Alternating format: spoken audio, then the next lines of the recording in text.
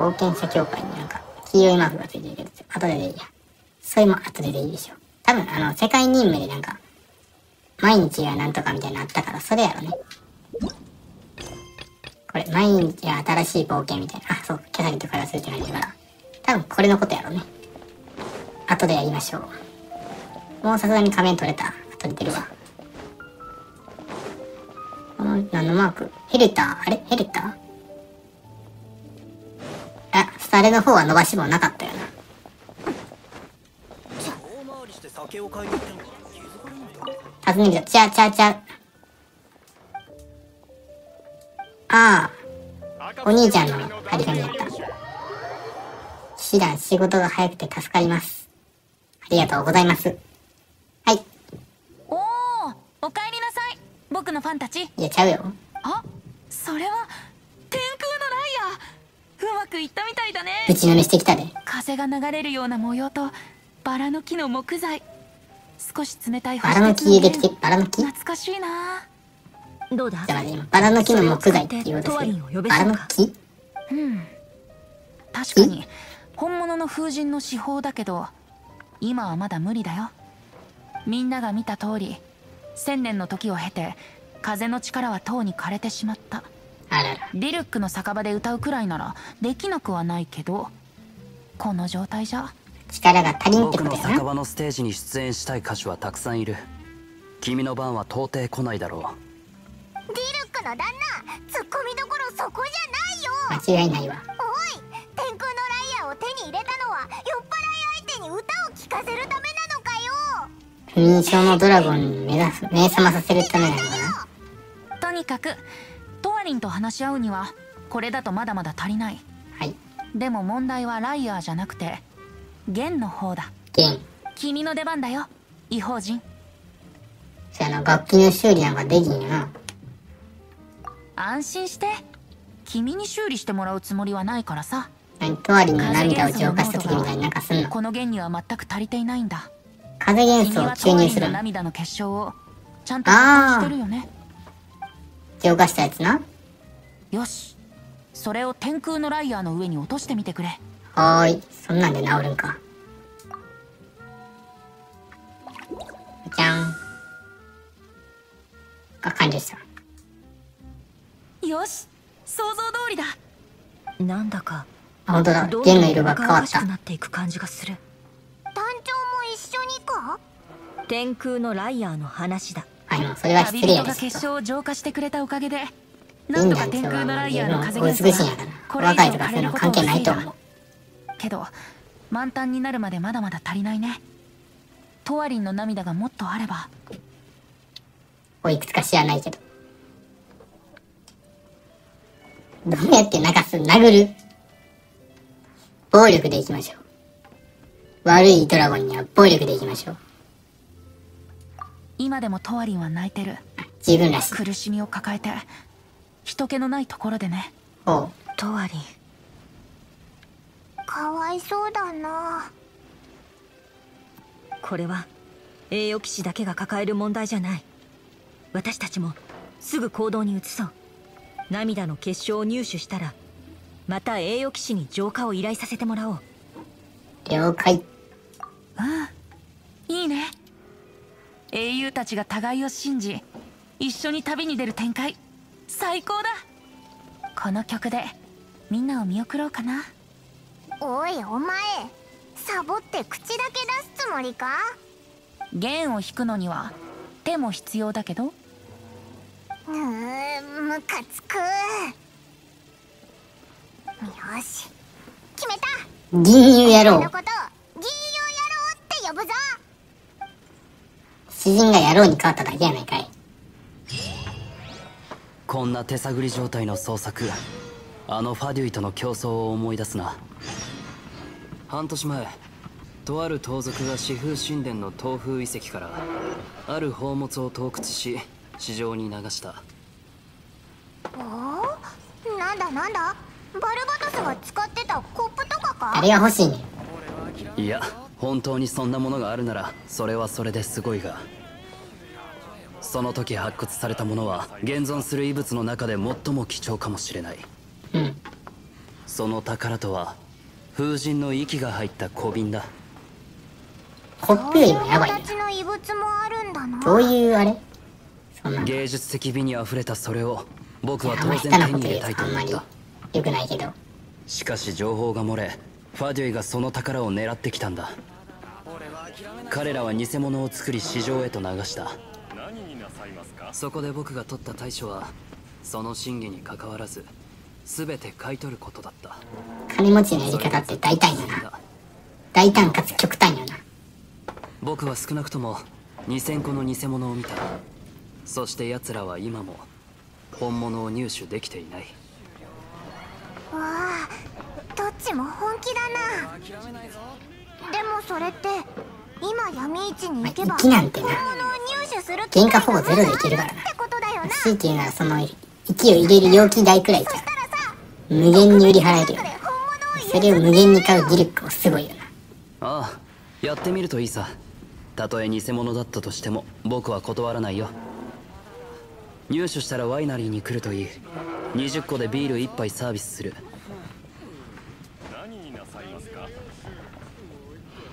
はい、えー、ということで何をするんや？涙を探しに行くのね。3箇所。じゃあ1箇所ずつ行っていこうか。紛失した涙隠された涙生まれた涙。え、まず紛失した方から行きましょう。旋風の神殿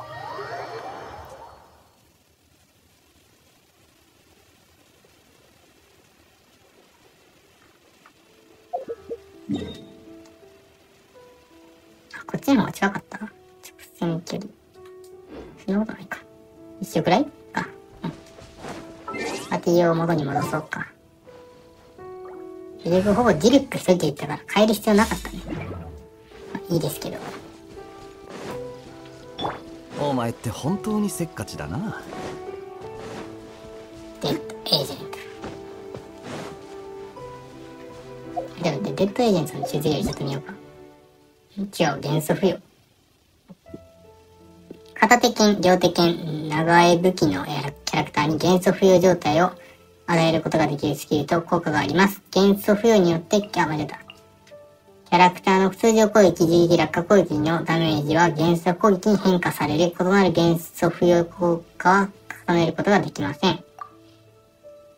また、キャラクターの攻撃を元素ダメージに変化させるスキルも存在します。元素付与と似ていますが、元素付与によって他の元素に変化することはありません。ん？つまり？さっきのディルックの必殺技がそうやったね。炎に変わってたね、通常攻撃は。デッドエージェントに関する話は何か？あ、なるほど。まあいいけど。また出たら呼びましょうか。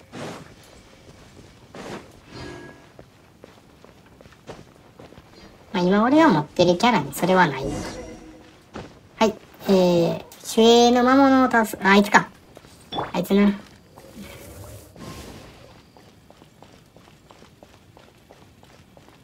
っち来い。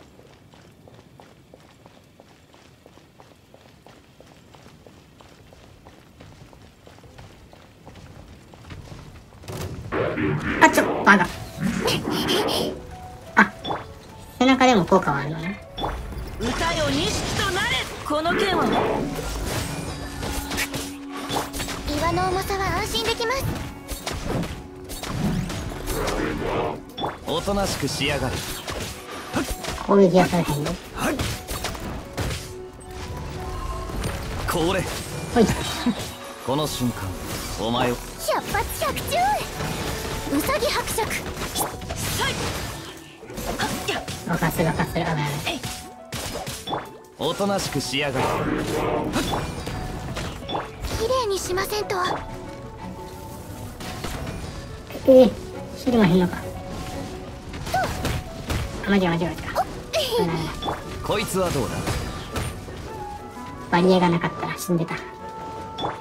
雨描きがたしあ、まだ。おとなしくしやがるやっ。ふんはっ。と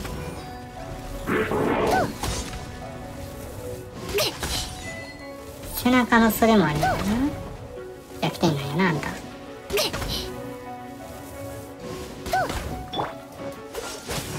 の剣はわかるかい股間奥義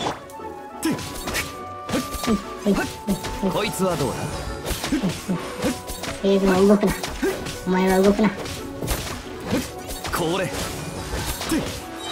まんすまん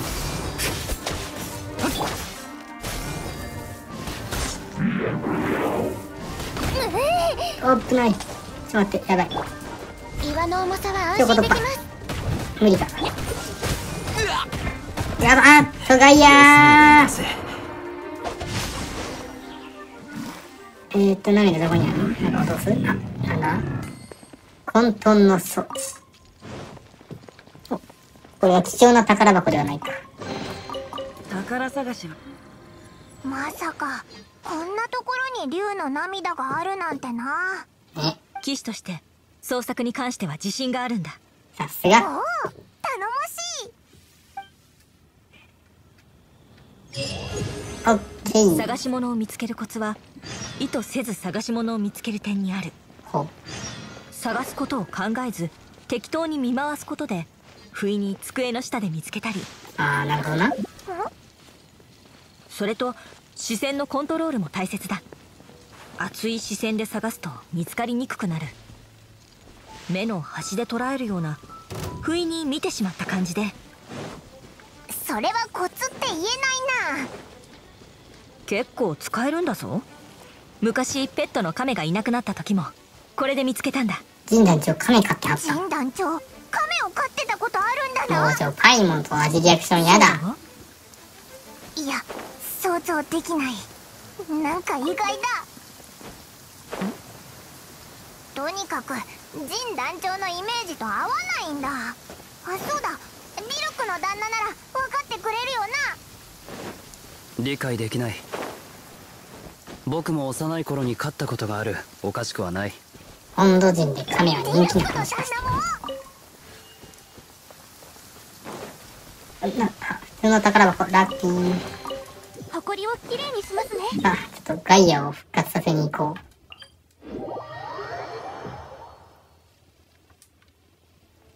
う。蘇ろ。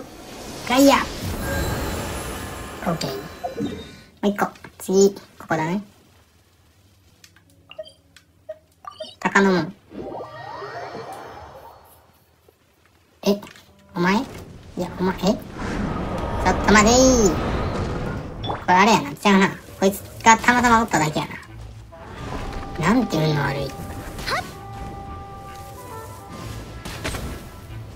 ういえば確かに。ここ解放するにおったのスルーしたかもしれへん。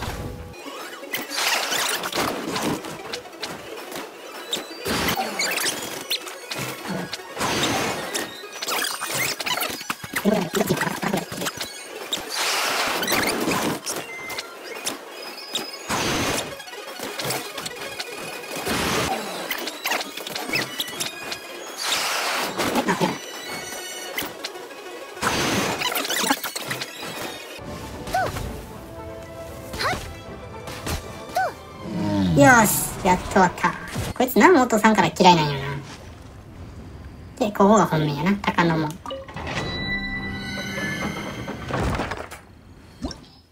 氷と雷やって、密林、廃墟と竜の涙。え、神団長手伝ってくれるのもしかして。雷、呪術なんかさっきもいらんかったからな。このままでもいけるやろ。なんやかんや言ってさっきも使わんかったでな。雷とか。おっ、危ない。ちょっと待って、え間違えた、これ。あれー。袖柄間違えちゃった。こ、ん？さっき、ん？こっちで合ってんのか？あ、ジャンプするタイミングが悪かったみたいな。よいしょ。オッケー。ここね。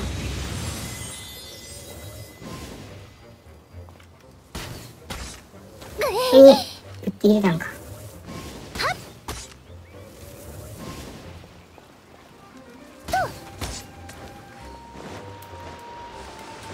違こんな。こと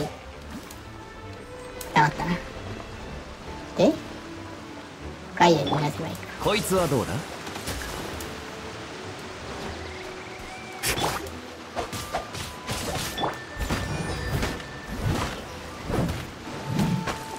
おとなしく仕上がれ。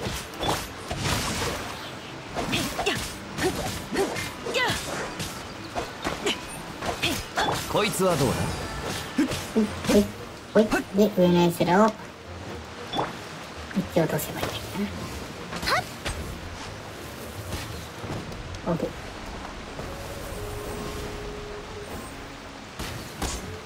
これは登れるな多分でも登れんでも爆弾ないよな春爆弾がないのであれは直に俺が仕分けに行っ？てやる雨描きがたしはい、さよなら。で、その前に、キャベツ、じゃがいも。で、宝箱。動くべきだオッケー、まだおるな。でっかいな。これ風邪ひくなよ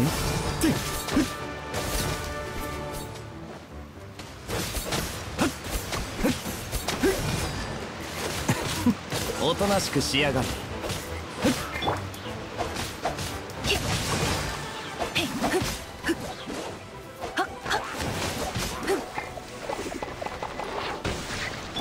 うん、なんかこいつはボーンつってくれるのはい、はい、はい、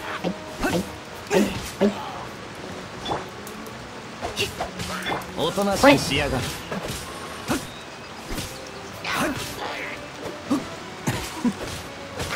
こいつはどうだ？これで、仕留めた。オッケー。で、宝箱を、おあ、風域ね。ほいこれで空高く飛ぶ。せクリアだ。宝箱、めっちゃ宝箱あるな、ここ。いいね。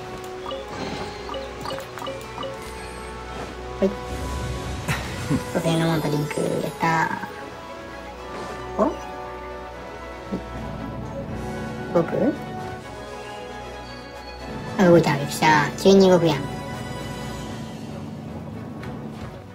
これね、次。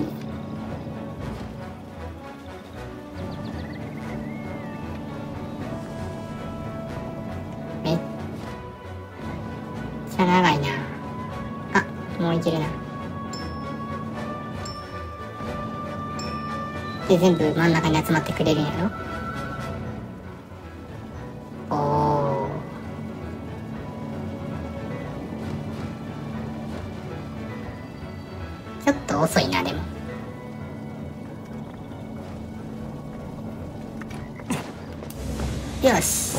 本当にせっかちだなめっちゃおるな。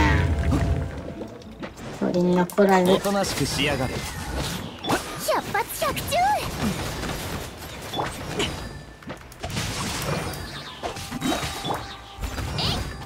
股間奥義これ。すまんすまん。おとなしくしやがれ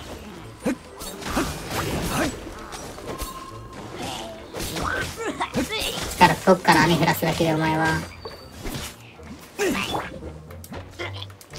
戦場のお掃除の時間です。岩の重さは安心できます。こいつはどうだ？この件はわかるかい？やっ。これで。まだ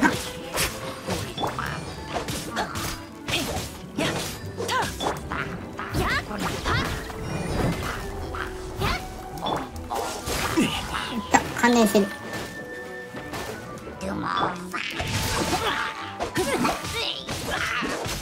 なんかこいつめっちゃ回復してない？その黄色いやつ。動くべきだ。どっか行った？あ帰ってきたおとなしくしやがれ。風邪ひくなよオッケー。爆発に巻き込んでやったぜ。アービスの炎？これ歌よ錦となれおとなしくしやがれ。頼んだわよ。こいつはどうだ？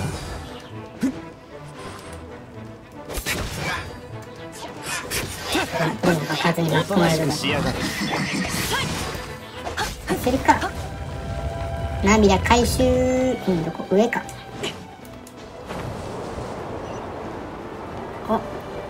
あの宝箱の中に入っとるんやな。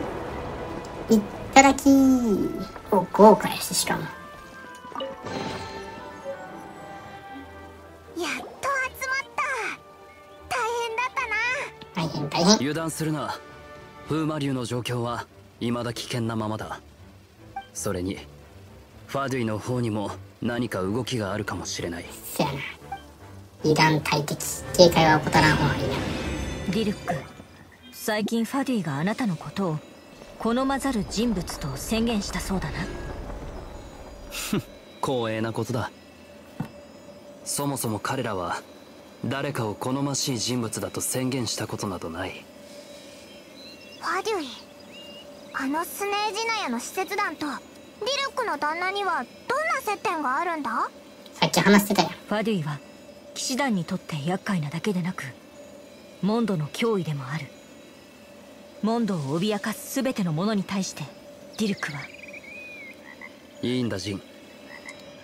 君ら騎士たちは外交役を名乗るクズに対して直接手が下せなくなるほどの制約を受けている。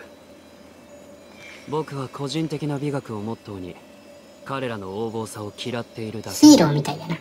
かっこいい仮に氷スライムを丸飲みするかファドゥイに入るかどちらか一つを選ばないといけないなら空から降ってきた隕石が大地を割りその隙間に挟まって死ぬ方がマシ。いや3つ目の選択肢を自分で作るのおもろすぎる。想像力ってなんだか変わってるな。しかもそれ、氷のスライム飲むか、飲み丸飲みするか、ファズに入るかで、どっちも嫌やったってことは、氷スライムの嫌嫌なんや。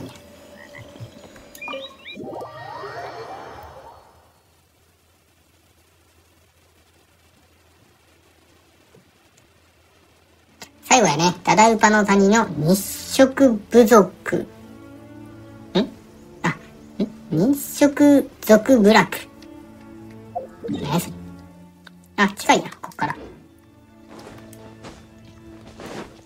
超近い。ほい。ナッツとキノコ。夕暮れの今。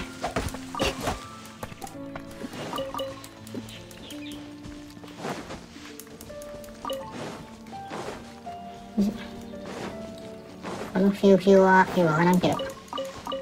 観察の時と共にあれゆっくり観察させてもらうわ。来た急に方向変えられた。アビスの氷がおる。あ、バレたん？ヒガオドム。こいつではないんだ。ん別リリチャールボート。あ、来たてってことはお前やな。雨のような矢をうさ燃えるダダウパ。これちょっと敵が多すぎるな。綺麗にしませんとまとめて仕留めた。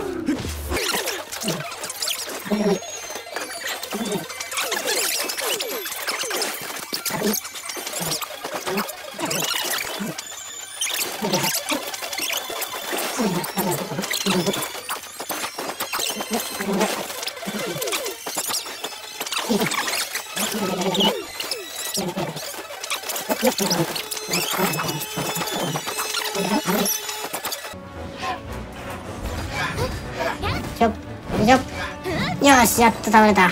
なんだこの元素を付着させるんかな。埃を綺麗にしますえ、ねなんか関係あるかなまあ、後ででいいや、これも。とりあえず、今はストーリー、ストーリー。探索は後回しよ。この宝箱やな。ワイナリーで浄化するの？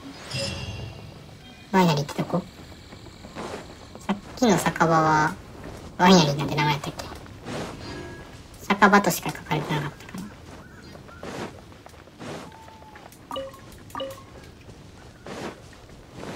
とりあえず、ね、ドロップしたのはちゃんと全部拾っていかないと。えー、どこ？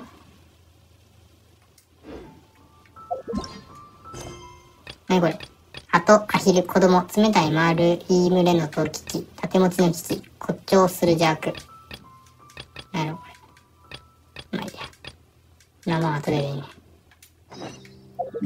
ストーリーやってこうぜ。暁ワイナリー。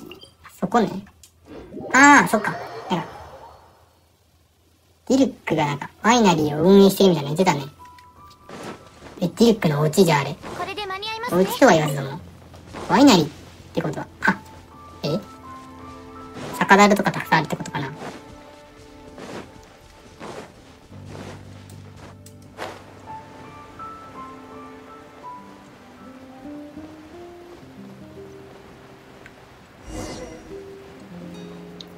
長と会話。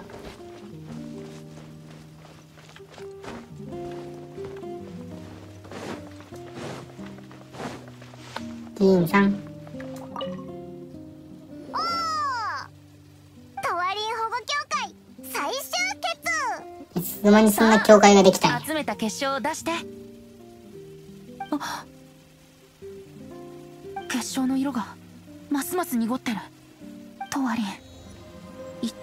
苦しみを。とにかくまずはこれらの結晶を浄化しよう。本当にそんな前までと色変わってるようには見えへんけど。お願いだよ。はーい。この目で見ていなければとても信じがたいが。面白い。まるで酒のろ過のように澄み渡っていく。さすがワイナリー経営者だけあっ涙があれば十分だ。て、例えがお上手やな。お酒で例このえ前みたいに涙を天空のライアーに落とそう。了解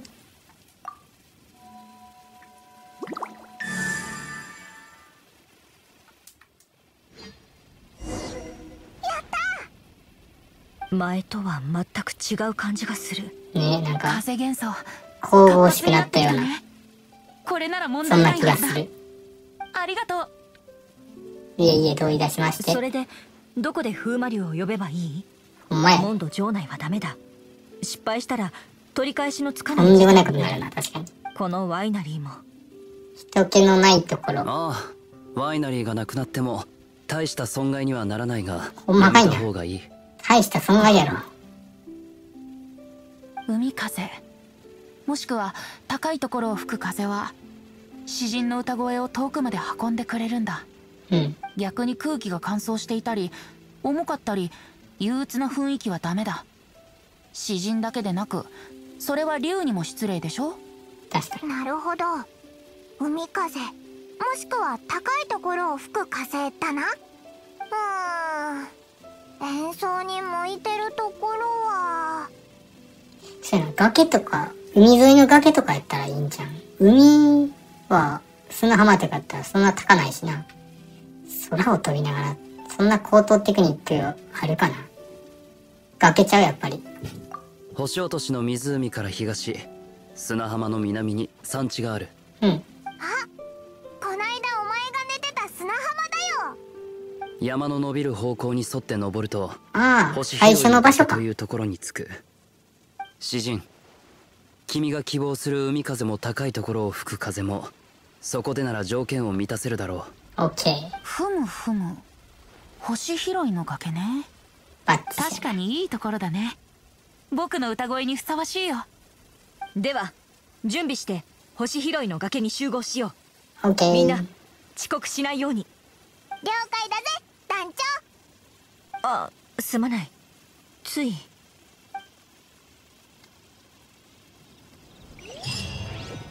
ちょっと一人一人、話しかけてみようか。交渉の余地があっても風魔竜と戦わざるを得ない可能性もある準備しておいてくれせやな。暁ワイナリーの酒の一部はエンジェルズシェアで直接販売されるうん。僕もたまにそこでバーテンダーとして働くから何か話したいことがあったらその時酒場に来るといいはーい。それ以外では執事を通してもらうことになるちゃんと経営者交してた。渉の余地があっても違えた。暁ワイ僕もたま違う違うにそれ以外もう一個の方聞きたかったんや。交渉の余地があってもただの気まぐれだもしくはあの詩人に少し興味があっただけさそれに風魔竜を放っておくとワイナリーの商売にも影響が出るせやね。だが一つ言っておく僕が協力した相手は君たちだ決して騎士団に期待を抱いているわけではないそこは固くなやな。じゃあ次、ジン団長。ジンさん。プライベートで行動することになってもついあの口調で話してしまうこれが職業病ってやつだろうかジン団長らしくていいと思います。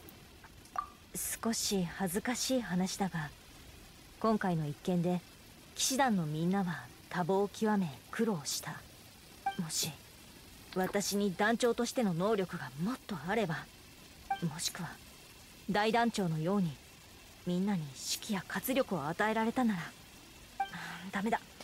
弱音はダメだ。大事なのは問題をなるべく早く解決す長は十分やってると思います。そうだろ？栄養騎士。俺は。もう一個のアマチュアもあんたあんたはもうええ。覚悟ができたのか。では星拾いの崖で会おうおう。プライベートで行動することになっバルバトス様の生物モンドの司法天空のライアー汚れを浄化する力があっても不思議ではないウェンティ殿が言ったようにその力でトワリンを助けられると願っている。これはバルバトス様が私たちに残してくれた祝福と言うべきだろうか喧嘩せずに解決するならそれがいい。プライベートで行動することに風の導くままにきっとトワリンは助かるよそうなることを願う。ウェンキー。お疲れ旅人あとは僕に任せてかつてあんたに全部かかっとるからな、ウェンティ。僕の友達だった今もそうであると僕は信じてるよ彼は僕と共に風の歌に耳を傾け共にタンポポの歌を奏でた。タンポポ。そんな理由だけでも僕は彼にあった優しさを取り戻したい。ん？もちろん。君も僕の友達さ。やったね。お疲れ旅人。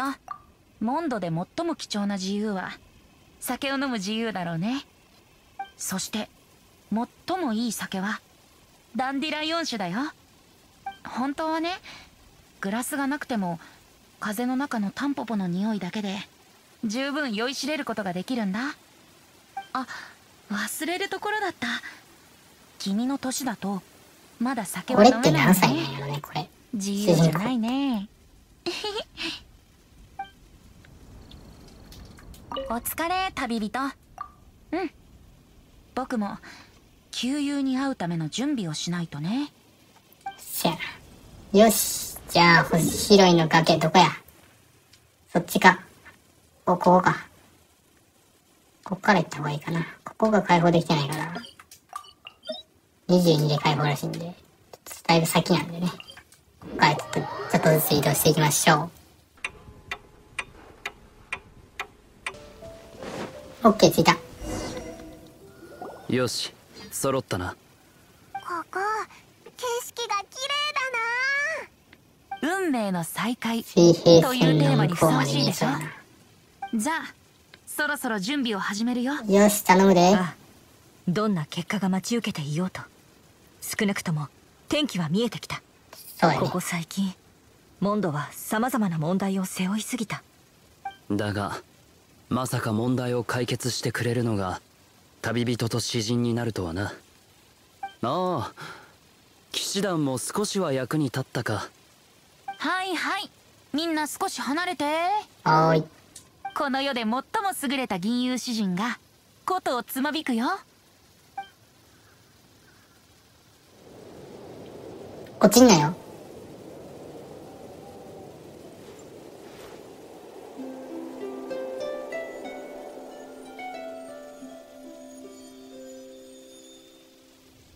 ん起きた？うー、出た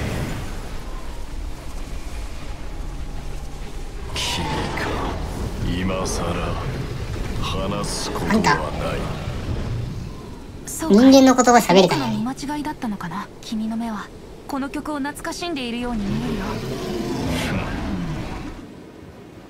お本当に話が。ね俺もびっくりした。わあ。そいつに騙されるな。哀れなアビスの魔術そ師。いつはそなたを捨てた今もまたそなたのことを騙しに来た。バルバトス。バルバトス？やっぱ本物の神様やったん？ベンティって。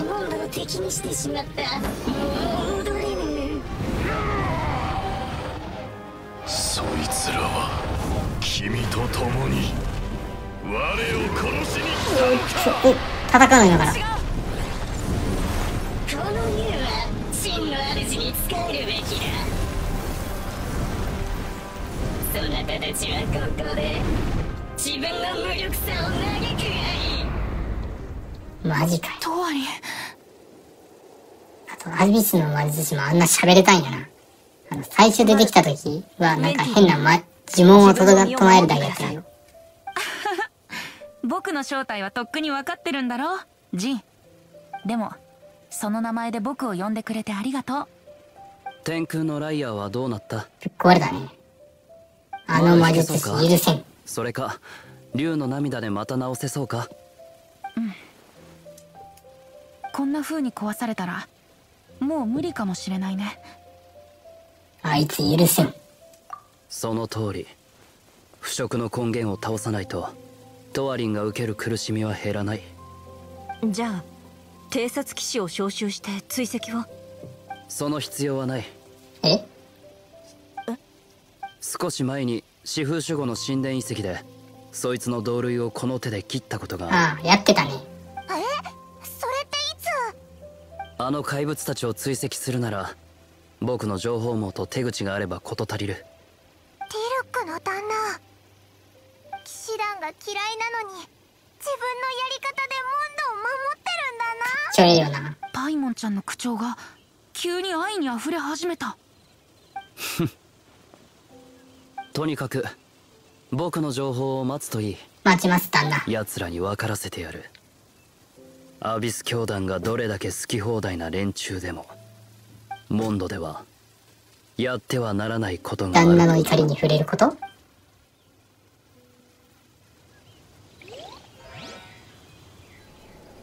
あえ兄貴？これ通り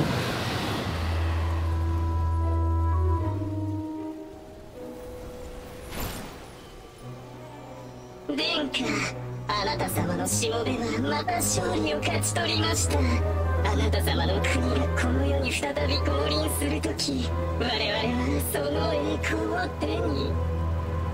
兄貴敵？あ涙のない明日のために終了。冒険ランク18が必要なのね。はいこれはもう何回も見てますね。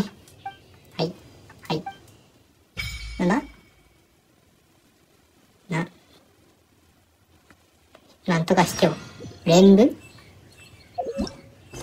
えー、これはあれやねサブクエやねまあ、次はだからあれやね。これは18、15やから、これやね、次やるとしたら。これは18、15。これはいける。これは多分、わからん。はい。で、これはサブ。だから次はこれですね。地方の風の記憶。何びっくりマークついてる俺に。あ、これで命の巣これで凸ができるのかないわゆる。ほい。終わり。